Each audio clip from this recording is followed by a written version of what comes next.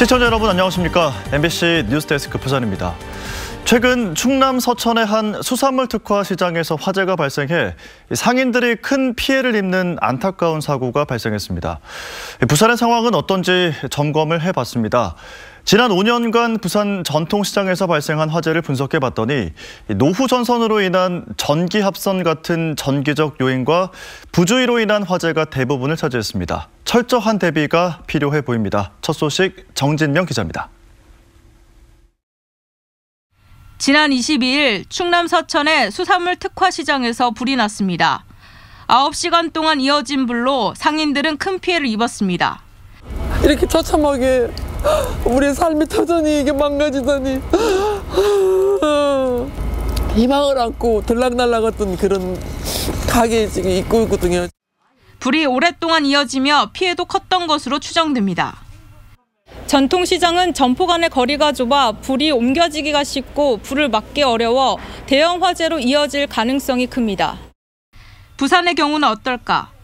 최근 5년간 부산의 전통시장에서 발생한 화재 건수는 44건. 두 명이 부상을 입었고 1억 1천만 원 상당의 재산 피해가 났습니다. 전통시장은 방화 구획이 되지 않은 상태에서 다량의 상품들이 적자에 보관되어 있어 대형 화재로 이어질 가능성이 아주 큽니다. 원인을 살펴봤습니다.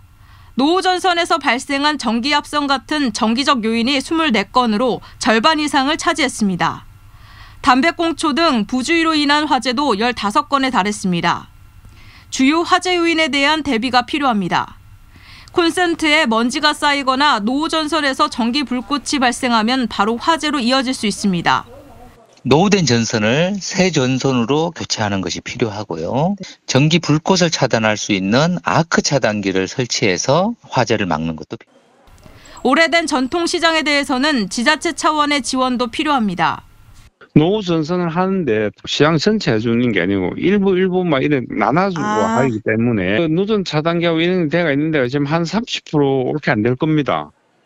행정안전부는 오는 26일 부산진 시장을 안전점검하고 지자체 중심으로 화재 예방 실태도 전수 점검할 예정입니다.